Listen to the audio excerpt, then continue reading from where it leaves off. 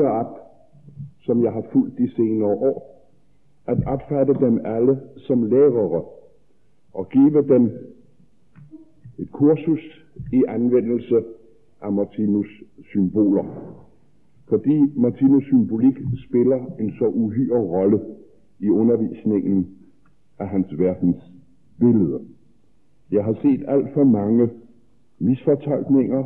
Jeg har set alt for meget uforstand inden for dette område, til ikke meget brændende at ønske at lære dem at anvende disse symboler på den måde, der var deres oprindelige bestemmelse, nemlig som nøgle til den intuition, som bor i dem alle sammen. Martinus arbejde, hans verdensbillede, deler sig i to dele. Man kan opfatte det som en smuk ny tro.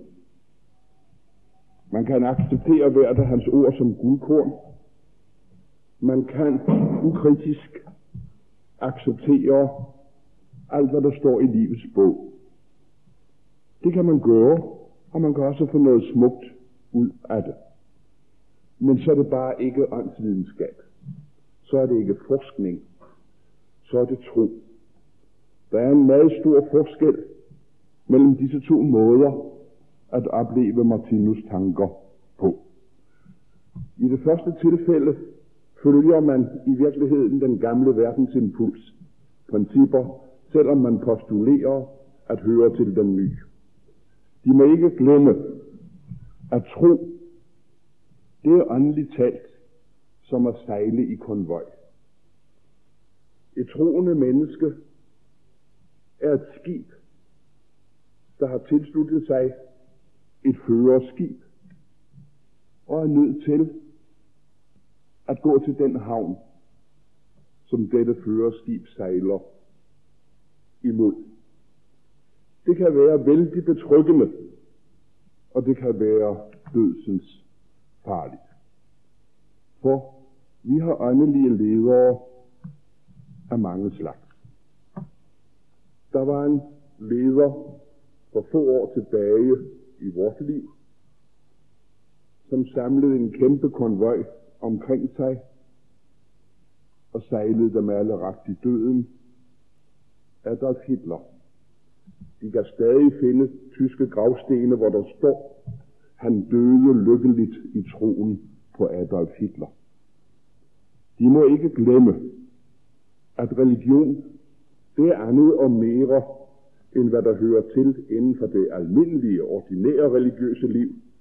Et utal af politisk interesserede mennesker er i virkeligheden dybt religiøse mennesker, er mennesker, der har overført deres trosevne fra det ordinære religiøse område til det politisk religiøse område, og vi ser derfor mennesker jorden over stå i kamp mod hendes førere under lederskibe, der vil komme til at sejle mange af dem absolut i afgrunden.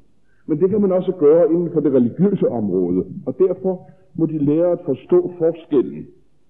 Jeg indser ganske klart, at det troende menneske på en måde har en fordel, som forskeren ikke har. Det er besværligt at anvende hjernen. Det er meget lettere at lade være. Det er meget lettere at acceptere uden omtanke. Men som menneske til menneske må jeg sige dem en meget alvorlig ting. Og det er, at når kriser og storme bryder løs i deres eget liv, så står trods alt det menneske stærkest, som har gennemtænkt de problemer, det har beskæftiget sig med, som ejer det som en klippe inde i sig selv. For ser de, vi er alle for at blive billedet om konvojen, skibe. Vi sejler alle som både på evighedens vældige ocean. Det var fra Guds side meningen, at vi en dag skulle være kaptajn på vores eget skib. At når vort hånd, når vores hånd lå på rettet, så lå der ikke en anden hånd over denne hånd. Så var der vor hånd på rettet, og i vort hjerte en intuitiv viden igennem vores dybe religiøse forhold til Gud, en viden om, hvor kursen gik. Derfor vil der altid være en forskel på den troende og på individualisten. Individualisten er altid rebel og siger, det lyder fornuftigt, sandsynligt, det du siger der. Men jeg vil gerne have lov til at tænke det hele alvorligt igennem og rejse alle de indvendinger, jeg er i stand til at rejse. Jeg tvivler ikke om, at du selv tror, at det du siger er sandt. Men sandhed kan det ikke blive for mig, før jeg har afkonfereret det du siger med alle de erfaringer, jeg har inden for det felt. Og derfor vil de se, at for mig og for mange er Martinus verdensbillede kun acceptabelt som en stor åndelig arbejdshypotese, som giver glødende inspiration på de felter, hvor mine egne erfaringer bekræfter dem, og som glider ud i hypotesens forskellige farve, felter, der hvor jeg er uden erfaringer. Når han for eksempel siger fra et punkt i mælkevejssystemet, stråler en impuls ind over verden, har dette ingen som helst betydning for mig. Jeg er ikke i stand til at kontrollere, hvilket punkt det er, hvorfra og hvordan. Og det siger mig intet. Men hvad der derimod siger mig noget, det skal de få at se nu.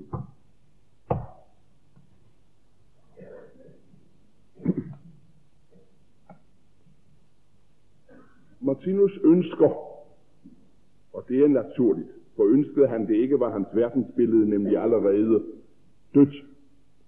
Han ønsker, at et hvert menneske skal bevare sin absolute kritiske sans. Han ønsker ingen troende, derfor har han hele tiden bortvist, afvist enhver form for persondyrkelse. Det er ganske vist en umulig ting, det ved jeg, i en verden som denne, hvor et utal af mennesker rent mentalt endnu ikke er kommet længere, end de må have en fører og støtte sig til. Men den mulighed eksisterer jo, som jeg før sagde. Men den er i forbindelse med mine foredrag uden betydning.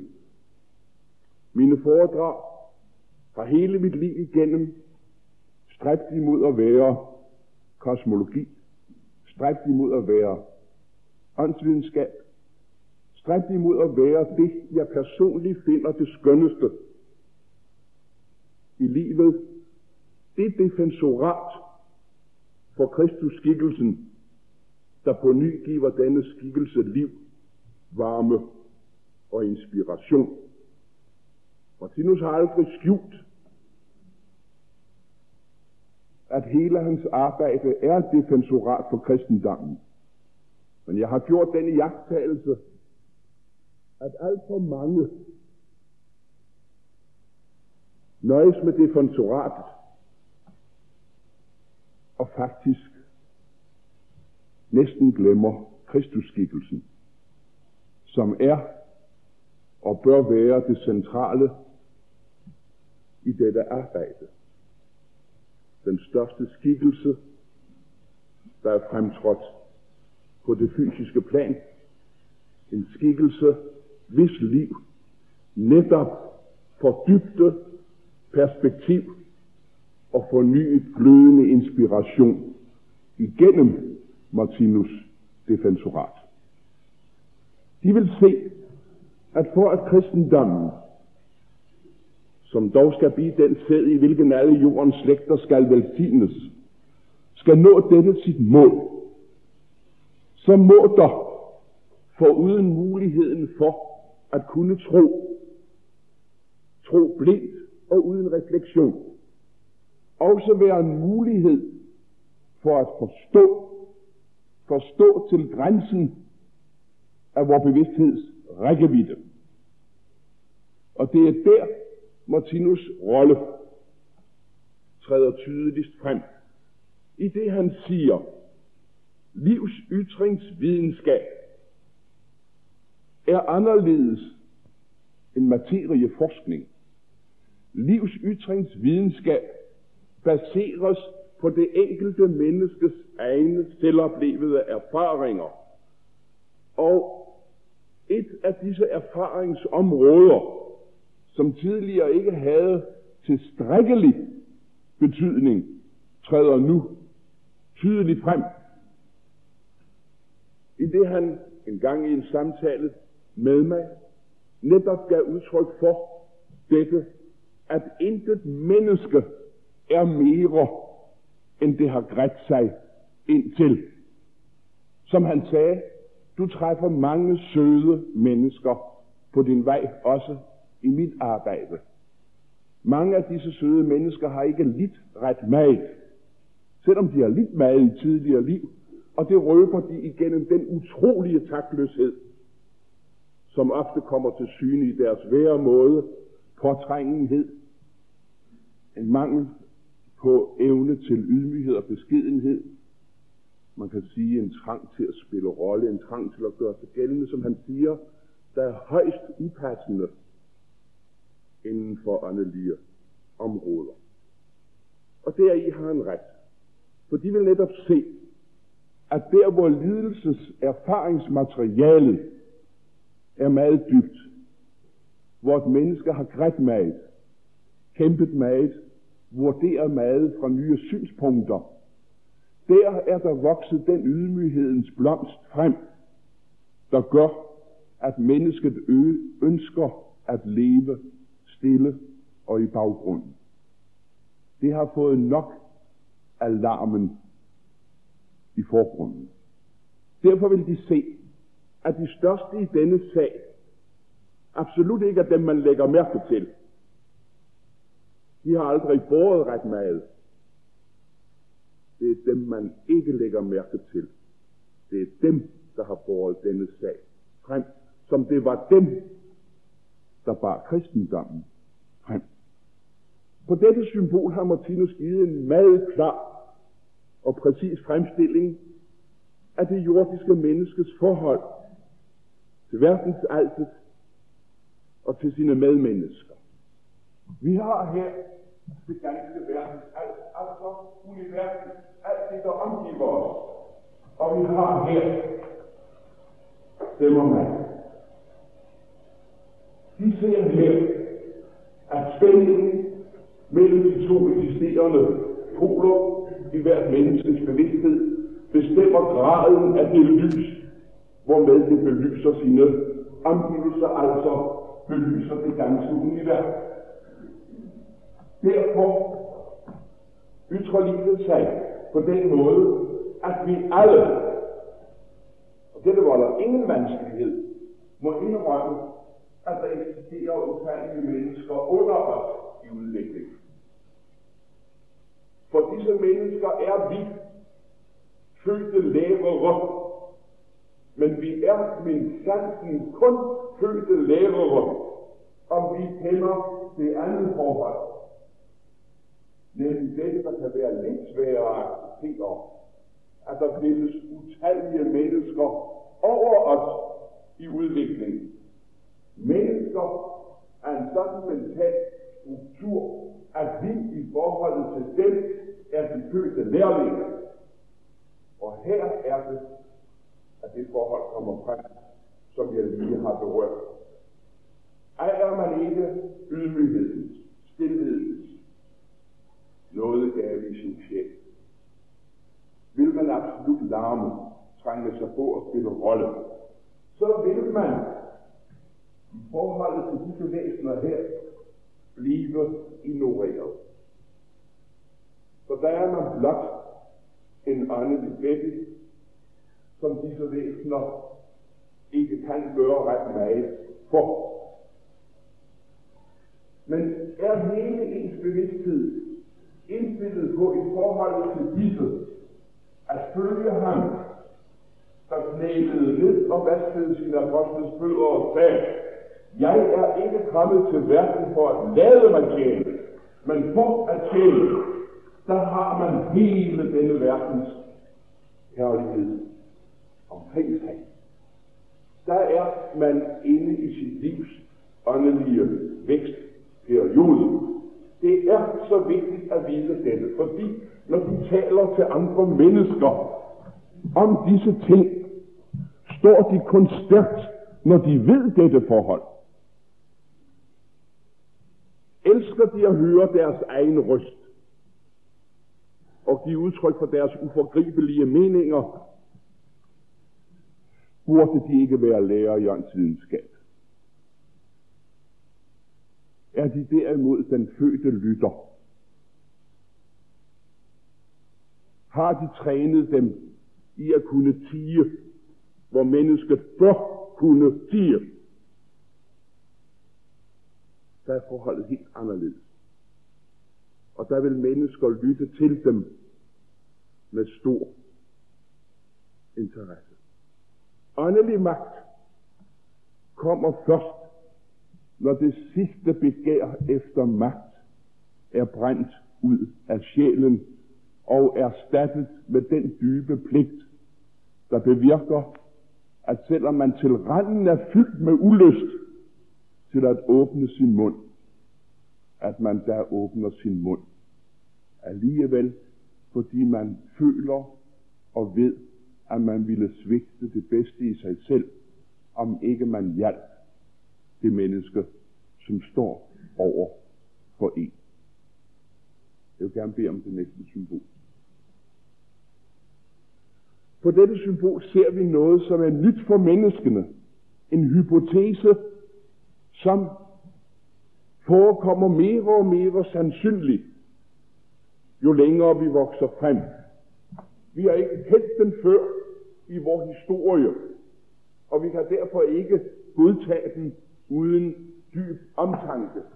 Det er jordklodens kosmiske stråleglans. Vi må hele tiden tænke på, at de repræsenterer sanseevnen nedenfra, hvor den mere eller mindre kosmisk bevidste repræsenterer sanseevnen ovenfra. Den kosmisk bevidste, eller mennesket med fremragende kosmiske visioner, de og jeg har ingen mulighed for her at sætte nogen grænse. Og begynder vi først at vurdere de enkelte i forhold til hinanden, glider vi uundgåeligt rent højintellektuelt ud i togernes ubegrænsede svære. Hold dem altid for det. Lad historien med sit vældige perspektiv afgøre, hvem der er hvem. Spild ikke deres tid og tanker på at sætte personer op mod hinanden eller ved siden af hinanden osv., fordi det er spild af tid. En tid, de kan anvende bedre. Det, det drejer sig om for dem som åndelig forsker, det er, når en sådan hypotese fremsættes, der er sammenlignet den med det erfaringsmateriale, de sidder inde med, og gøre op med dem selv, om denne hypotese har en virkelig inspirationsværdi for dem. Og det vi kan se, at denne her har, det er findes det første symbol i livets håb. Det såkaldte skrift. Og har kendt det i alt det materiale fra det første øjeblik, hvor Tinus arbejdede med jordklodens kosmiske stråleglans. Ja, videnskaben er for længst nået til den kendskærning, at alting udsender stråler, vibrationer. Og det er ganske givet, at den samlede menneskehed, og altså udtrykket er her den samlede, at denne samlede menneskehed repræsenterer et meget stort vibrationsområde, og det er altså det, Martinus kalder det kosmiske område, som kan iagtages med kosmiske sanser. Og siger han, der har vi det virkelige forhold mellem det gode og det såkaldt onde i vores verden, mellem viden og uvidenhed. For 2000 år siden, siger Martinus, repræsenterede åndelig viden kun en svag lysende glorie omkring kloden. Der var den på et meget brutalt stadium. Men fra det punkt og frem til nu har den selvoplevede lidelse for de slægter, der uafbrudt er inkarneret her bevirket en forskydning, således at den åndelige viden nu tager sig ud som her. Nu er det jo et symbol, vil så sige, at hvis vi skulle overføre det til et andet tankebillede, så ville den felt nu være videt meget Vi ser altså, at denne mørke felt repræsenterer den uvidenhed, der betinger, at vi ikke i dag har et menneskerige, at vi ikke i dag har en verden, der er fuldkommen, at vi har en verden, hvor uvidenheden endnu tyranniserer mennesket. Men der er noget væsentligt, noget meget mere vigtigt ved symbolet, som mange går forbi og tænker, og det er det skravibrede felt, I ser. For dette felt repræsenterer den sum af erfaringer, og de må hele tiden have relationen til deres eget sind, fordi de lever på denne klode og har altså meget stærk forbindelse med den, og deres mentalitet har så at sige den samme struktur, som der her er angivet.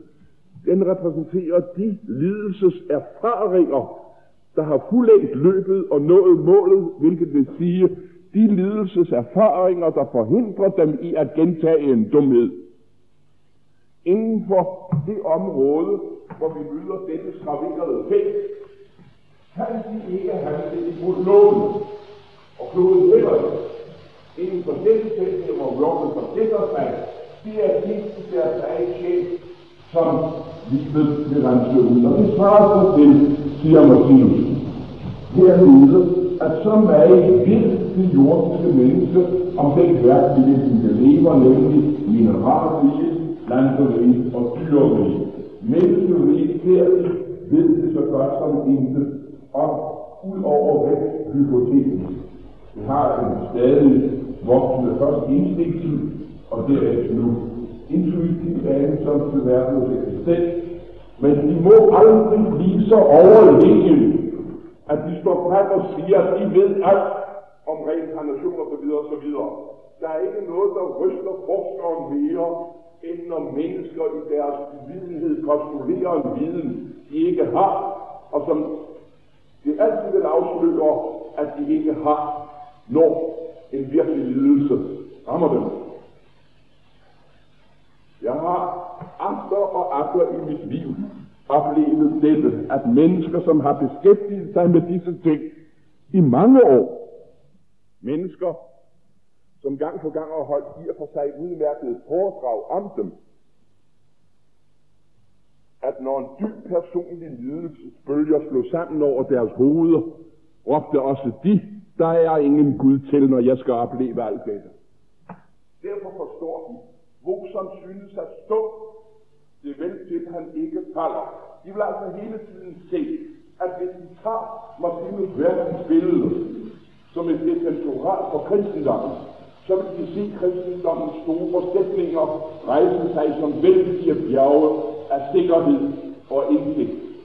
Og det er det, der er meningen. Det er ikke meningen, at vi skal erstatte det nye testamente med livets bog, og så begår de en, ikke sin synd, men de begår en fejl, og det er en fejl, som rammer dem selv. Jo dybere jeg har trængt ind i Martinus kraften jo højere er jeg kommet til at elske min Bibel. Og det er vigtigt at sige dette, for alt for mange trækker på skuldrene og siger, at jeg er dog forældet, fordi Bibelens bog er dog det tredje testament og så videre. Jeg kender alle disse ord, så det er kvalme, fordi jeg forstår, at dem, der fremsætter dem, har ikke tænkt dybt nok og har ikke forstået, hvad der virkelig hændte for 2000 år siden. Nu ser vi noget meget vigtigt her, det er følge denne linje. Vi ser, at kloden hernede i den spiral afsnit har baseret kulminationsområdet. Det er også en hypotese, og det er ikke en hypotese, som i og for sig synes at bekræftes af nutiden. Den bekræftes kun i det øjeblik, ens kosmiske centre begynder at vokse. For umiddelbart, som situationen er i dag, ser det netop ud til, at mørket kan gå imod en sådan kulmination, at alt liv med professor Uri kan blive udslettet på et øjeblik. Vi har midlerne, og adskillige har også viljen. Men der er det så, at det religiøse element i tilværelsen træder ind. At man stadig holder fast ved, at mennesket spår, men Gud råder. Altså, at der er en større mening. Og det er noget meget væsentligt, at de som åndelige forsker konsoliderer denne deres indstilling igennem en undersøgelse, de alle kan foretage, og som er meget let. De kan ikke undgå at se ude i naturen, at alt liv er målsøgende. Et hvert lille frø er inkarneret en viden om solens eksistens.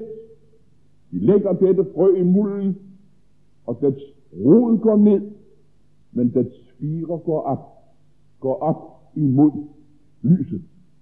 De ser dette forunderlige, at i et hvert løg, en hver kerne, et hvert frø, er der en 100% intuitiv funktion, som bærer planten først frem mod jordens overflade, dernæst via stængel og blade, frem til den blomst, der udgør kronen på dens udvikling.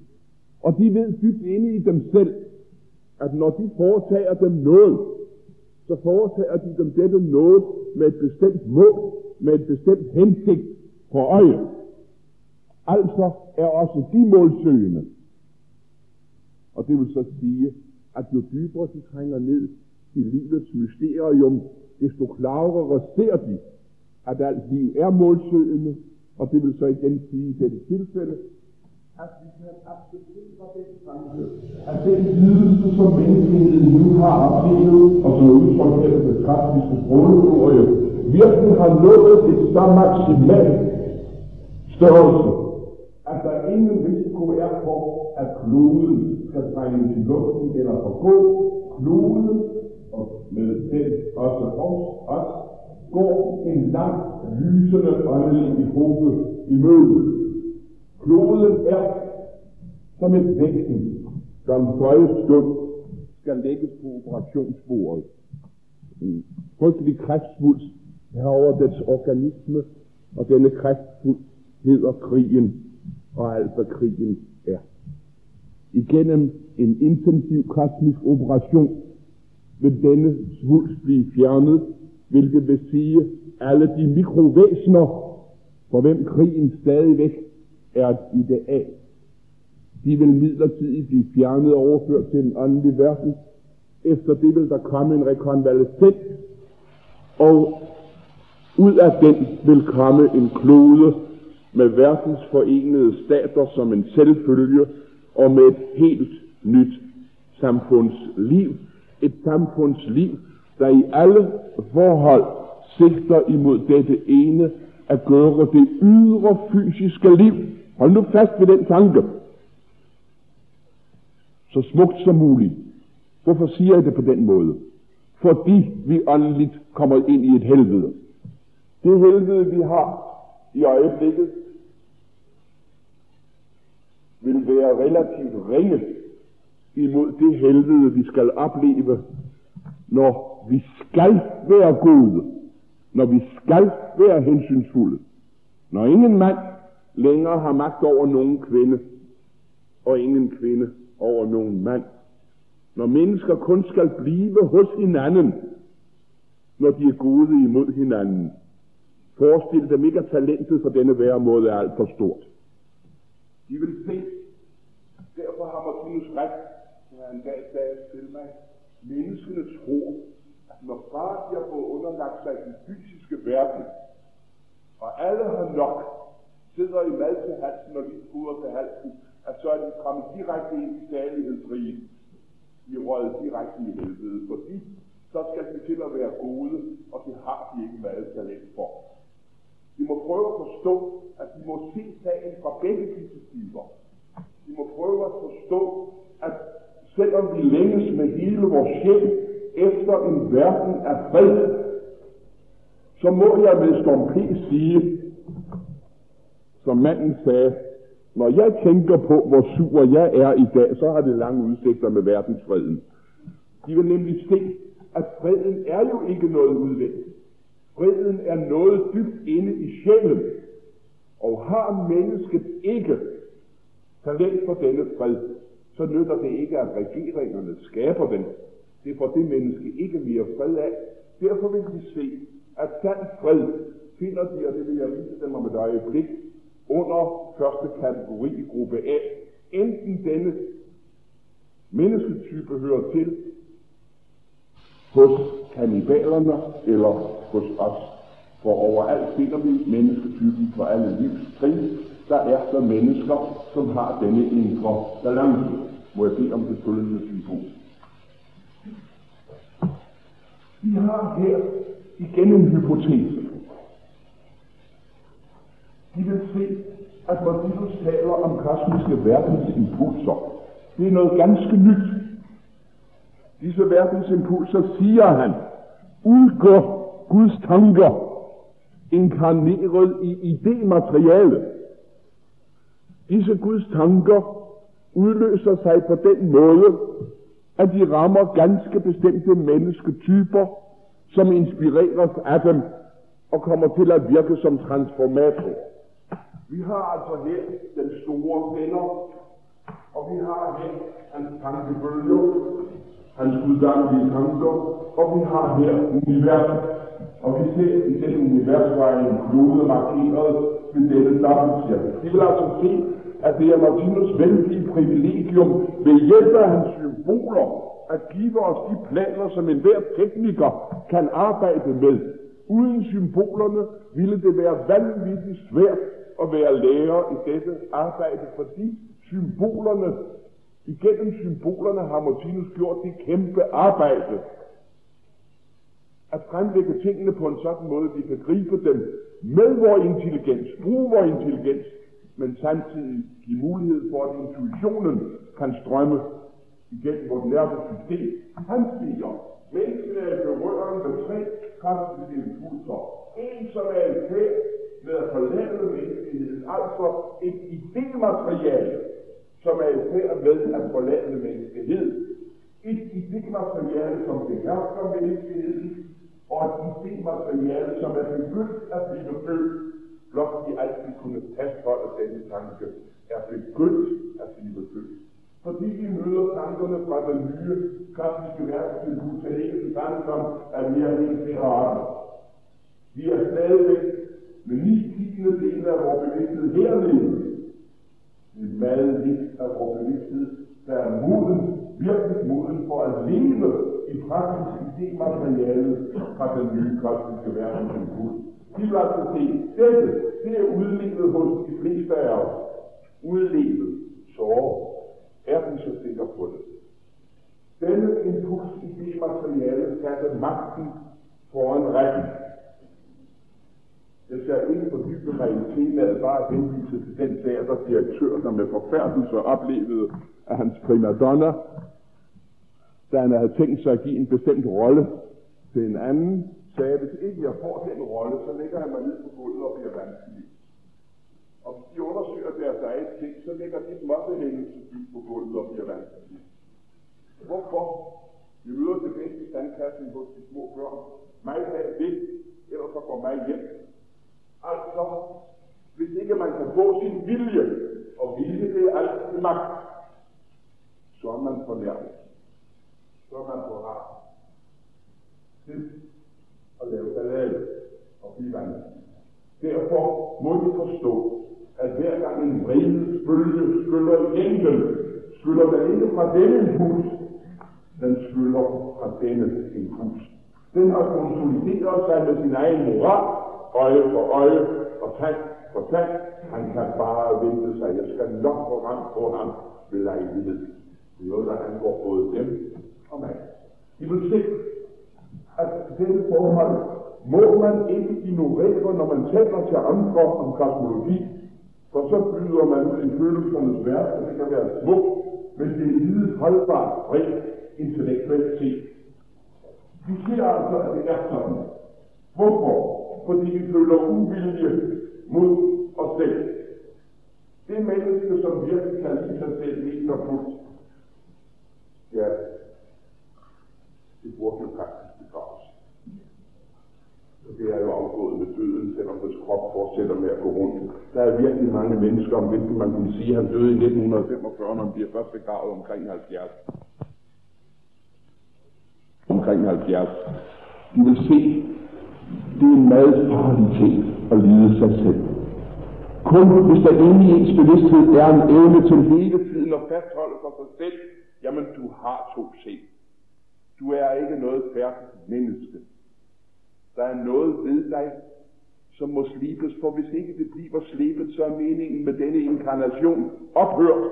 Så har du ikke noget at være her efter, så er du virkelig med Jesus. En af dem, om hvilken han sagde, da de døde begrave deres døde. I vil altså se, at vi er her. Vi indrømmer, vi ved, at vi har det forhold i vores hjem, men vi ved også, at vi gerne vil det gode, og det er jo skabt. Udtrykt af Paulus, ingen har mere genialt formuleret dette gode, jeg vil. Det gør jeg ikke. Det onde, jeg ikke vil. Det gør jeg. I vil se, at vi kan ikke intellektuelt formulere bedre. Men det røber så også, at vi er vokset igennem i tilstand, og nu er der i blandt os mennesker, som for at få det fulde udbytte af denne impuls, begynder at forstå, at alle de trosformer, den udløses af muhammedanisme og buddhisme, kristendom, etc., fordi der er jo flere, hinduisme osv., at alle disse verdener, trods alt, hvor skønne de end er, og hvor meget de end har betydet, dog alle har repræsenteret den guddommelige suggestion.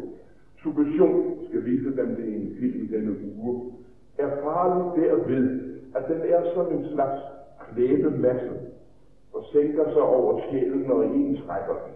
De vil se et suggereret menneske. Det stråler lykkeligt, når det er i nærheden af sin suggestionsophav. Man siger noget, nogen, noget om dette suggestionsophav, så skifter øjnene stråleglans med det samme, og glæden, lyset, forvandles til mørke og til halv. Hvis de nogensinde har oplevet, hvad jeg har, i et muhammedansk moské, og bag sig have en mand med hånden på sin krumkniv og flammende øjne, fordi man i hans øjne jo kun var en barbar kun var et menneske, som det ville være aller en velbehagelighed, om han skal den over på. Så ville de vide lidt om den slags ting. I det fjerne østen skal man ikke træde muhammedaner alt for nær. Vi så det op i Punjab i 47, hvor en million mennesker skal struben over på hinanden. Vi vil se dette halv, som religion kan udløse på alle stadier på alle stadier. Glem det endelig ikke, fordi at det er en kraft, som stadig har sine nærende rødder hernede. Denne kraft er farlig. Og derfor kan vi også vide, når der kommer aktiviteten her, at vi stadig er i bevidstheden, at vi stadig kan gøre dem fortræd, og også gør de mennesker fred som de har med at gøre. Derfor husk altid disse skønne ord, når de underviser i kosmologi at de må aldrig forarve de små. De må aldrig tage en tro fra et menneske, som endnu varmer og inspirerer dette menneske. Derfor må de aldrig brælre ud med disse store analyser tankeløst. De må veje deres ord på en guldvægt, for de har ingen ret til at gøre andet menneske fortræd. Det er derfor, de netop lærer stillhedens mysterium, stillhedens nådegave. Pythagoras som vidderlig var en af oldtidens største lærere, han krævede af sine disciple, at de skulle tige i syv år, før de talte om, hvad de åndeligt havde erfaret. Og han havde en vidunderlig prøve til sine disciple, når de kom til hans skole. Jeg har også tænkt, hvordan de ville falde ud på denne plads. Jeg står i hvert fald ikke, hvad jeg han modtog sine nye disciple på den måde, at han lod to eller tre af sine disciple møde denne nye disciple og fornærme ham på alle tænkelige måder. Beskrive hans korpus, hans læbe, som noget af det grimmeste, de har set. Det er ikke en næse, hvad du? Det er ikke en hårdtræk bevare mig varme venner, det der par plader, han går på. og derefter gå ind i hans tankeverden og genere ham på alle tænkelige måder. Og hvis han så eksploderede, så var han kasseret. Så var han kasseret. Forudsætningen for at blive disciple hos Pythagoras var en sådan grad af selvbeherskelse, at eleven kunne bestå denne prøve. Jeg tør ikke modtage sådan. I vil se, at der er mad og lære i livet. Der er mad at forstå for, at man virkelig får det fulde udbytte af disse store problemer. Vi kan altså acceptere denne hypotese, hvor vi kan se, at vi vidderligt har et idémateriale, vi selv er imod. Vi har et idémateriale, vi er begejstret for, som stadig inspirerer os, men som vi søger en dybere mening, en dybere forklaring på, og det vil blive bragt os igennem denne nye impuls. Derfor kan man acceptere dem, og derfor forstår man, at Martinus for at knæsætte denne impuls, valgte det følgende symbol, eller valgte at udbygge dette symbol i to ting. Må jeg få det næste? Det er vil bede om at få det vendt fejlen, men jeg har åbenbart lært det forkert.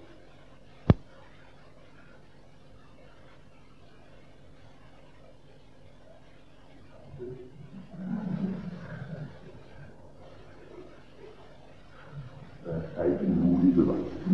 En gang til.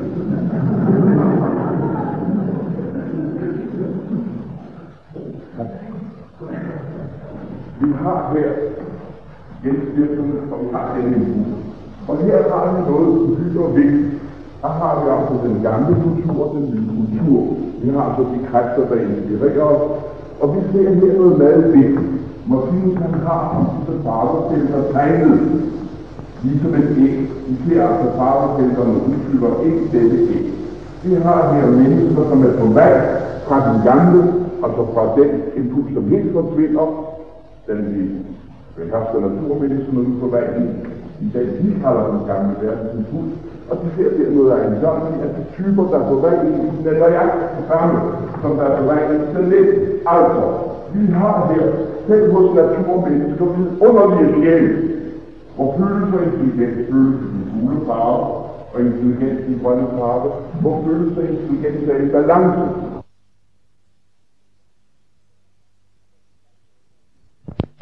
Og man skal jo ikke have levet mad iblandt såkaldt farvede mennesker, før man oplever netop dette forhold. Man oplever aldeles vidunderlige mennesker, iblandt disse primitive mennesker, mennesker, man føler har en udstråling, man selv kunne have behov at have. Og så har man den type, som har for meget følelse og for lidt intelligens, og den, der har for meget intelligens og for lidt følelse. Alle repræsenterer vi alle typer, der er stunder, hvor vi er i balance, hvor man kan sige, evigheden i os er som et langt skinnende hav solbelys. Så der er andre tider, hvor bølgens bølger rejser sig højt, og det er ulykkeligvis sådan, at når vi er der i denne skønne tilstand, så dømmer vi aldrig. Så er vi vilde, kærlige og forstående. Men der har vi været i hav med at dømme.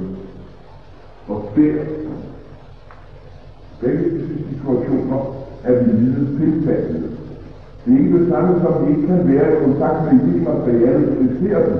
Men som menneskeklub betragtet, er vi ufredelige i begge disse tilfælde, vi er der, eller på vej i en arbejde, som vi står her i. Det er derfor, jeg hele tiden siger, de mennesker, der betyder mest i dette arbejde, det er jo den, det er først, første kategori gruppe af, og den hører man aldrig. Den mærker man. Den anden derimod, den hører man og hører aldrig på hvad. Og snakker med det. Vi vil altså til at se, det er vigtigt, at vi ved, at vi har disse tilstande i os, og at vi udkrystalliserer sig i absolute typer. Der er absolut mennesker, som er frihed i at se forskelligt, at være både kærlig og altid hjælpsomme og på Så er der mennesker med alt for mange følelser i forhold til forstanden. De har utrolig let ved at komme med forstanden fra eller mod moden følelse. og det er ubekvemt både for dem selv og for deres omgivelser. Og her har vi for denne kolde type, denne arrogante type, som kan være overordentlig intelligent, men ved sin hjerteløshed altid røber fast. De ser, disse typer findes, og derfor, netop fordi de findes, giver Martinus i det sidste symbol nøglen til at leve på en sådan måde, at man får mest fred og mest ufred ind i sin tilværelse.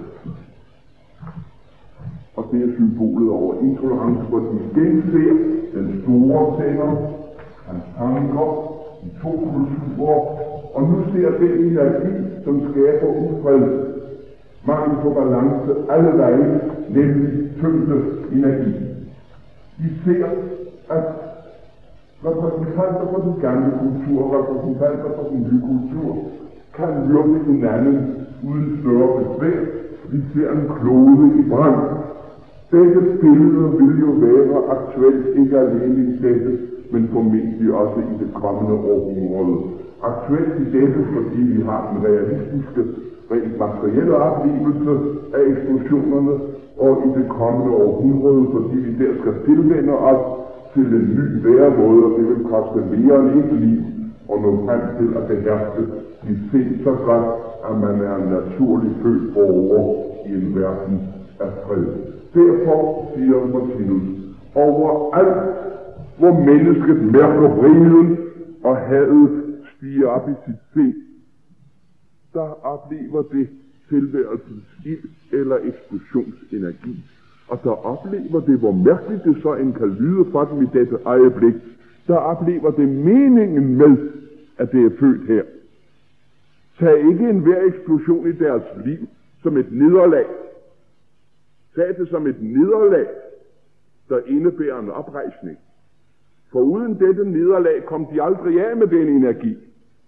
Oprejsningen ligger i dette, at de, så snart de begynder at føle den første duft af åndelig modenhed, kan anvende det mest strålende budskab, som Martinus verdensbillede bringer en hver af os, nemlig dette, ligegyldigt hvad du end oplever på din livs vej, du er selv den først udløsende årsag dertil. Altså, forskellen, og lad mig slutte denne foredrag med denne ting, som de kan hjælpe mange mennesker med. Forskellen mellem det åndeligt umodne menneske og det modne menneske er den, at det åndeligt umodne menneske er så lille, at det stadigvæk kun kan få trøst ved at give andre skylden for den smerte, det ubehag, den fiasko, det oplever. Det voksne menneske derimod, det bøjer sit hoved for stormen. Det føler ikke smerten vendt imod de andre. Det føler smerten vendt imod sig selv. Det føler, at hvad det end kommer ud for, hvad det end står midt i, det har selv villet dette. Når det skete, var det ubeskyttet derimod. Altså er der et område i den sjæl, som skal fuldkommen gøres. Derfor vil de se, at hvor det udmodne menneske kun får nogle få procent nytte ud af en lidelse, der kan det modne menneske høste overordentligt rige frugter i den stund, hvor det måske mest synes at være glücklich. Tag.